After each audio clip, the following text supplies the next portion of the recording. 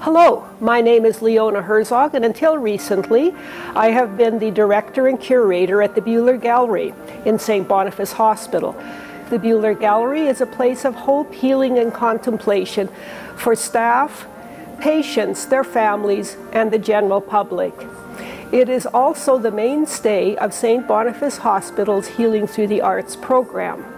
Today, I would like to give you a tour of the current show, Out of the Ordinary, featuring the work of artists David McMillan and Keith Oliver. Today, we will look at how we perceive everyday objects. Both artists take the familiar and make it extraordinary. First, we will turn to the work of David McMillan.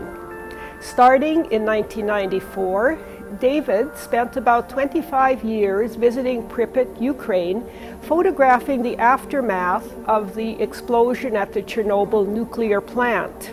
Then, after a 35 year hiatus, he again started to paint, and the works in this show were done over a period of about 10 years. When we think of portraits, we often think of paintings of the rich and famous kings, queens, politicians, the Doge in Venice, However, artists also painted their friends. Paul Gauguin painted Vincent van Gogh, and Vincent van Gogh painted his postman. And it is in this vein that David's paintings are done.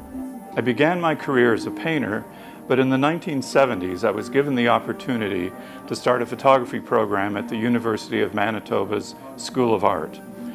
After a few years I became less interested in the paintings I was doing and more interested in photography especially when I started using color film, which wasn't very common then in the 1970s. It wasn't until 35 years later that I began painting again after I retired from the university. Since it had been so long since I last painted, I wasn't sure what the work would look like, but after several false starts, I realized painting people was what I wanted to do. Historically, the demand for painted portraits dropped off after the invention of photography, and I admired portrait photographers, especially August Sander, but I was never satisfied with my own portrait photographs. However, the paintings I started to do felt altogether different. For one thing, they're a different species of object, a handmade image. I work from photographs, sometimes collaging several to get the image I want. I found that a certain scale, close to life size, worked the best for me. I ask people I know to pose, although in some cases we've barely met. I use artificial lights for the photographs and try some standing and some seated poses, usually 30 to 50 variations. The virtue of a photograph is I can choose from a variety of poses, often something very spontaneous or fleeting. I then decide how much of the figure to include. This is sometimes a consequence of how the sitter is dressed. I then try to get a combination of things that I find interesting to work together, from expressions to posture. This can mean using a face from one exposure and using yet another exposure for the figure. In the end, I want something dramatic. I think having worked in color as a photographer for so many years has helped develop my sensitivity to it in the second phase of my painting career. My biggest challenge has been finding people I'd like to paint. What makes a sitter work for me is somewhat indefinable, but it involves the combination of their physiognomy and clothing and their general physical presence.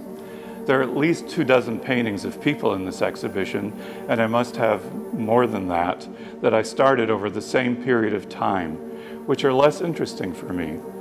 The distinctions are very small, but sometimes the right elements come together in a way I know is going to add up. The still life paintings, the floors, were influenced by the photographic work I was doing in the Chernobyl exclusion zone.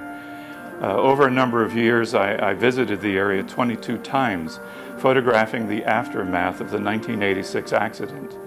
I ended up with many photographs of objects on floors that I found in hospitals, stores, and schoolrooms. These were remnants of the evacuated population and reflected the Soviet culture. The photographs were very interesting to make, without the horizon line so central to most photography, giving a kind of compositional freedom. For the paintings, I took objects that I had available to me that were more representative of a North American culture, albeit somewhat idiosyncratic. The separation of art and craft, as we might think of it today, is a fairly new concept. Before the period of renowned Renaissance artists, the concept of an individual artist barely existed. Whether someone was a painter, woodworker, glassblower, potter, or lace maker in early modern Europe, traditional training took place in workshops that were very similar. Things began to change around the turn of the 15th century when people started to draw a distinction between art and craft. During the 20th century, the boundaries between art and craft changed again. The Bauhaus, a revolutionary school of art, architecture, and design started by Walter Gropius in Germany in 1919, changed the way students interacted with their teachers. Architecture, performing arts, design, and applied arts were given as much weight as fine art. Today, contemporary artists use traditional materials and processes associated with craft practices and contemporary art continues to make room for and popularize handmaking, decoration, and materiality. Keith Oliver is one of those artists. He has been a mainstay of the Winnipeg arts community for well over 40 years and is respected as an artist, craft person, and mentor to the arts community. His work can be described as art, sculpture, and craft. Exquisitely made pieces combine technical mastery with artistic excellence, all while projecting a joyful quirkiness that make the viewer want to get closer to them and maybe touch them.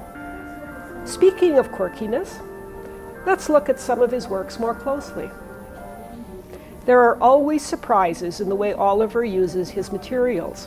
He employs a considerable variety in his work, including beautifully grained wood such as maple, walnut, cherry, and mahogany, or recycled wood complete with rusted nail holes. Layers of corrugated cardboard are grafted together, making a solid new material that can be worked on a lathe in the manner of wood but produces a texture that is entirely different. Thick sliced branches are grafted together side by side so that their growth rings form a series of softly banded patterns on the vessel's surface. Oliver's forms are always interesting and frequently enchanting. Delicate wooden bowls are held aloft with ballerina legs on point that make them appear weightless. A colander with a delicious red interior has several legs, ensuring it will not topple, even if all the legs don't reach the ground. A beautifully grained lidded container is dotted with cheeky little wooden acorns. They are made individually, look very similar, but each is unique. Separately and together, the little acorns are a visual as well as tactile treat. There are also whimsical whirligigs that resemble people. The finely crafted pieces, made with a variety of meticulously assembled woods, are constructed in a way that evokes a very human response we are seeing things that are not really there. A sense of pareidolia. Ambiguous visual patterns are working together to create a sense of order and meaning where likely none was intended, and the pieces are all the more charming for it. He brings the object to the level of art through thoughtful design and impeccable technique.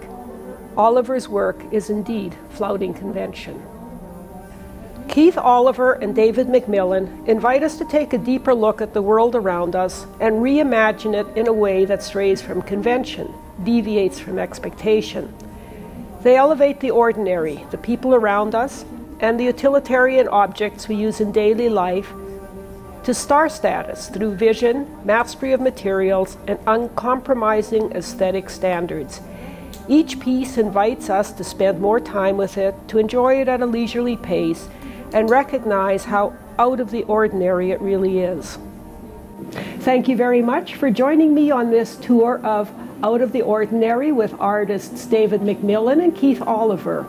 I hope you will come to the gallery to see the show. It's quite likely you will find someone here that you know, just like I did at lunch last week when I ran into my old friend and artist, Steve Guthrow.